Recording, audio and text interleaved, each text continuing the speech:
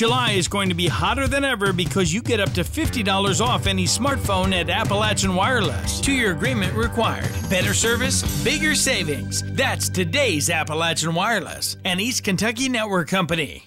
Temperatures are in the mid 90s, and that could be particularly dangerous for some of our more vulnerable friends and neighbors, including our youngest ones. Biggest thing we want to talk to people about, you know, things that have made national headlines in the past is the fact that, you know, sometimes infants, you know, get left in car seats out in a hot car. Um, extremely dangerous. We want to always be, you know, make sure that we're paying attention to our kids that we're not leaving, our, you know, even if we're going into Walmart or the store just for a couple minutes and stuff, um, when temperature reaching 90 to 100 degrees and stuff, it's really not safe. Um, especially the the very young um, infants just don't have a, the, the capability of burning off heat like, you know, adults do and stuff. So it's not going to take long and they can get really, really hot. I mean, just imagine just sitting in there for, you know, five or 10 minutes without air conditioner, waiting on somebody to get in. You imagine how hot it gets. So imagine that with the windows rolled up you know, it could be a lot worse.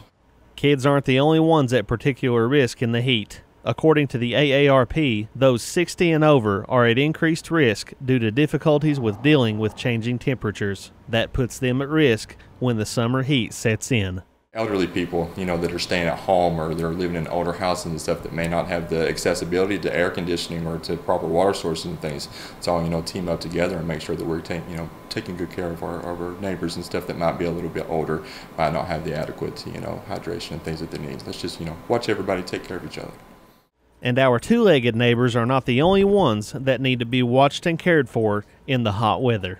Also, we got to watch for our pets. You know, I got three little fur babies at home, so you want to make sure that you take care of your animals, make sure they get plenty of drink, and don't leave them in a hot car either. Some stuff.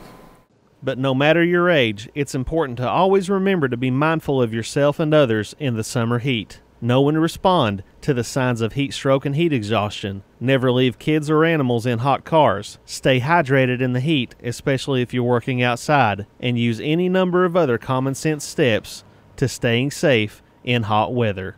In Pikeville, Chris Anderson, EKB News.